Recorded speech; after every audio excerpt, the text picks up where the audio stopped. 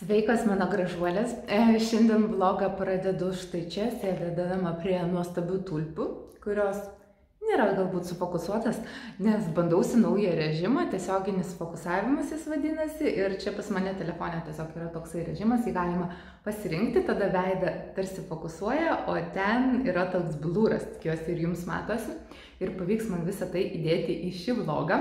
Kągi pamatysite šiame vloge, tai akimirkas iš L'Oreal renginio, kur vyksiu. Tai bus apie drąsią, charizmatišką, neprikaištingą moterį ir Lorelis kviečia tokia būti, naudoti įvairias spalvas, dažytis jomis šiandien beje irgi esu pasidažiusi Lorelio lūpdažių, vienu iš naujieną matinio atspalvio. Bandausi, žiūriu, kaip laikosi, kaip kas.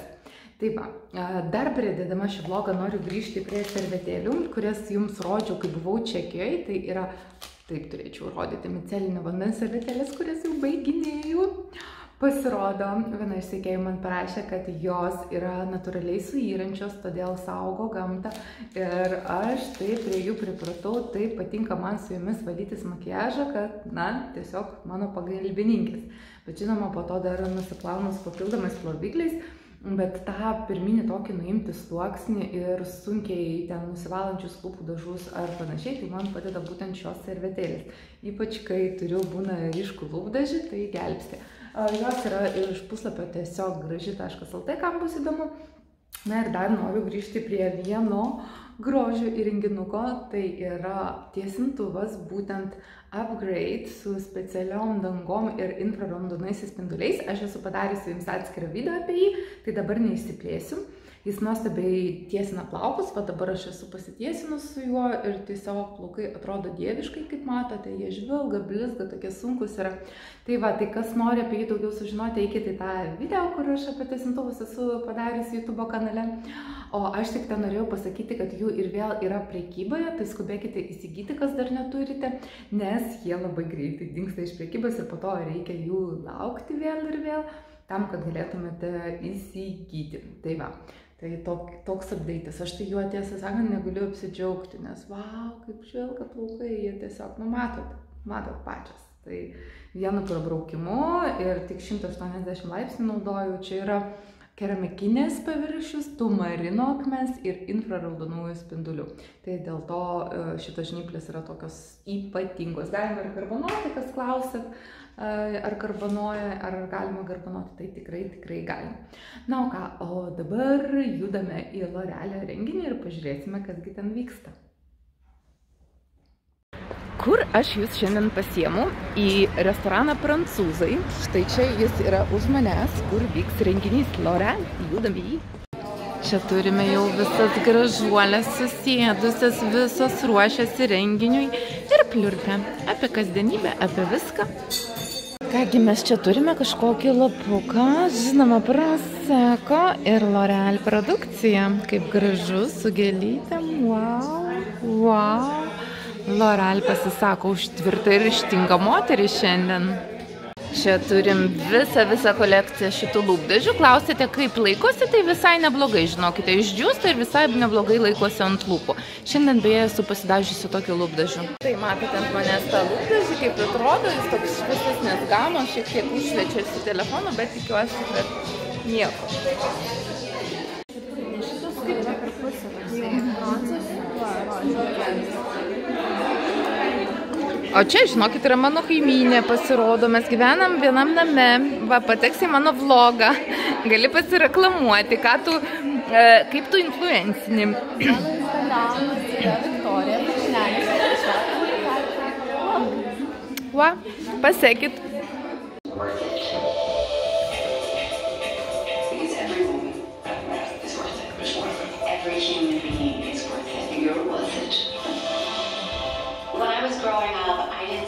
A lot of representation in the beauty industry that reflected what I looked at when I look into the mirror.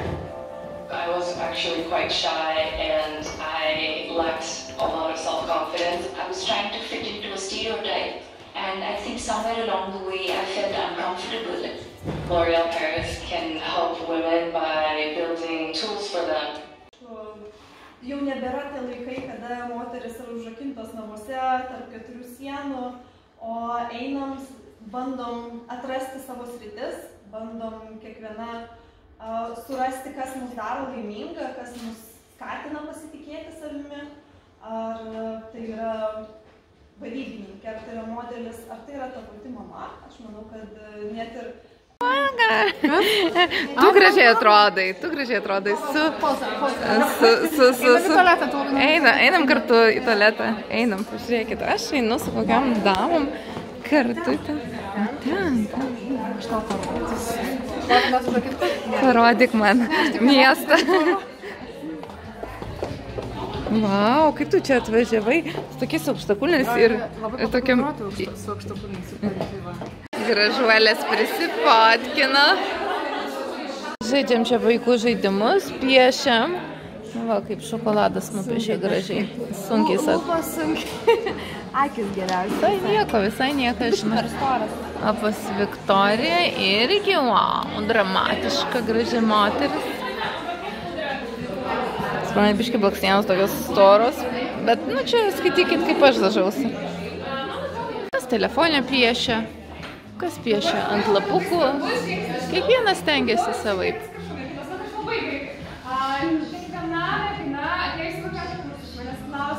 Kaip sukontroliuoti veidą ir kaip pabronzinti, tai yra sušildyti veidą, ne? Ir ar visos žinote skirtumus tarp kontravimo ir bronzinimo? Taip. O mano moteris jau gražėja, gražėja.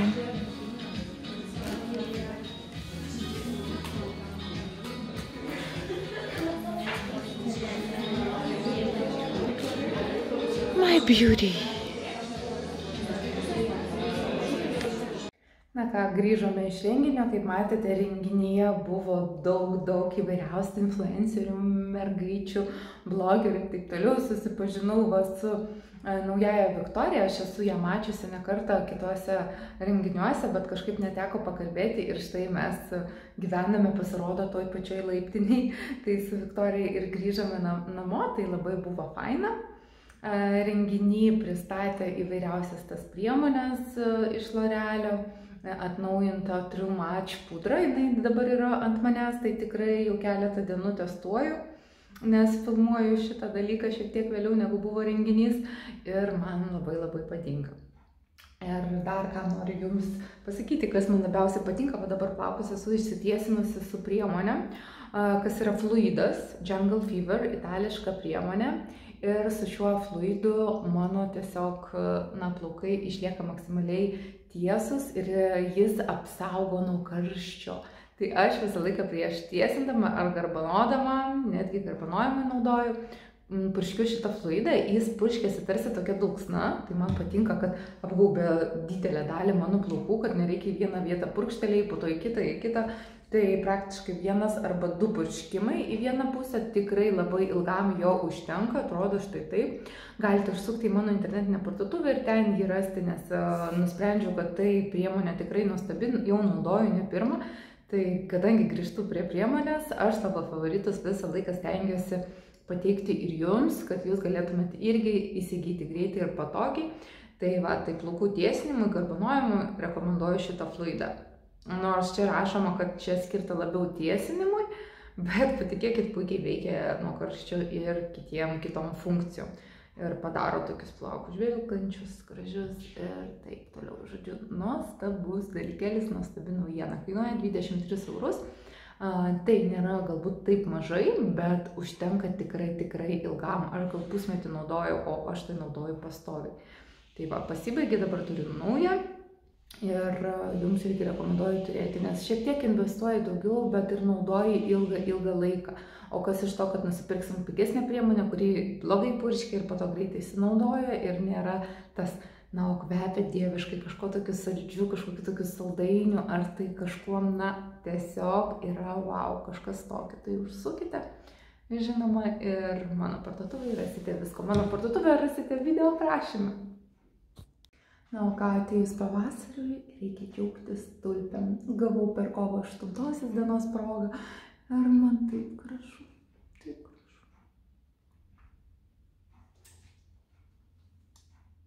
Pabudo, pabudo mūsų berniukas, mėgaliukas. Ne, parodysiu triukus mum. Ką radai? Kas? Planšetė dėžiai paslėpta. Pasaulus paslėpė. Na, rodyk, triukas. A, kur pirštas? A, yra pirštas. Ai, tu triukininkas. Vėl nėra. Na, dar vienas triukas, koks pas tave? Niekas taip nemoka. Na, manau, kad mes tikrai nemokam tai judinti kalbą. Žurnalis. Ir dar moku. A ką dar mokė?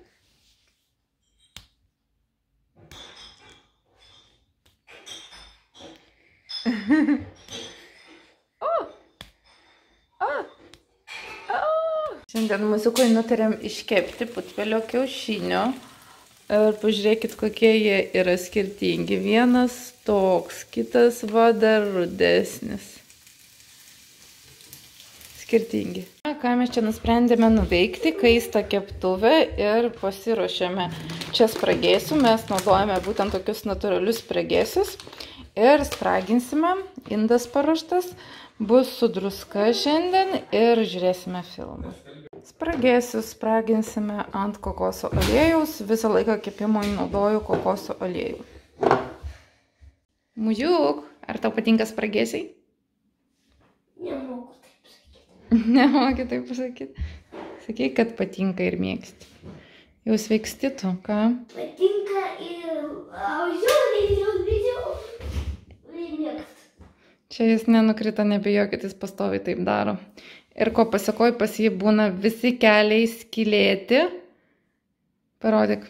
Įrodymam, taip, skilutė ant kelių, bet mačiau pas kitas merginas, youtuberės, influencerės deda irgi vaikai tą patį darom, bet vienas kelias pagrindė. Tai va, tai va. Spintą paliekam ramybei. Atėjo pas mane mamytė iš tikrųjų apsikirpti, bet nusprendėm papuošti šitą mano stragalą, nes mano mama didžioji gėlininkė, kaip žinote, kas nežinote, tai pasakykit, jos Instagramą vadinasi DJ gėlės ir, žodžiu, jinai daro daug įvairių grožybių iš gėlių. Dabar kovo 8-osios proga gražiu, gražią tokią gėlytę iš mamos gavau, va tokia, va čia yra iš popieriaus pagaminta, jums per Instagram jau rodžiau tokia svytmela, tikrai labai.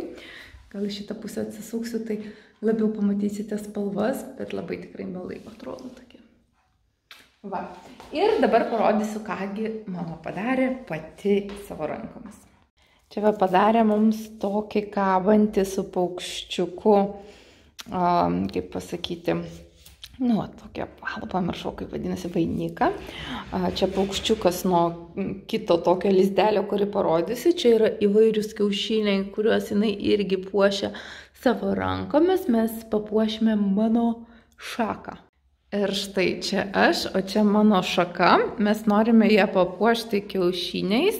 Ir čia yra, vat, vat, vat šitas dalykas, kurį padarė mano mama. Mes norim į vidų įsodinti paukščiuką. Tai va šiandien puošim, žiūrėsim, kaip mums pasiseks. Kol mama čia puošia, ruošia, e, prisuka su velute štai šį lizdą, tai aš atsidarysiu savo Jungle Fever siuntinuką su mano mėgstamiausiam apsaugom nuo karščio. Taigi, ką mes čia turime? Mes turime čia naujieną, kurios dar nebandžiau ir būtinai išbandysiu. Tai yra tarsi toks pilinguojantis, kaip parašyta, detoksinis ir valomasis kondicionierius plaukams, kas yra iš tikrųjų labai labai įdomu. Nepamirškite, kad savo odą visuomet reikia galvos odą valyti, tam, kad plaukai greitai nesirevaluotų ir auktų sveiki ir gražus. Labai svarbu švari galvos oda. Naujiena ant mano spintelės kosmetikos būtinai bus štai šis serumas, kuris priduoda žvilgesio ir jį reikia tiesiog palikti ant plaukų. Tai išbandysiu. Apskritai Jungle Fever kosmetika labai mane sužavėjo, būtent e, pradėjus man naudoti štai šį Wild Spray, kuris iš principo padeda plaukams e, na, išlikti labiau žvilgantiems, gražiems visą visą dieną. Jau mama pasodino čia paukščiuką, pažiūrėkit, kaip fainai ir mielai atrodo.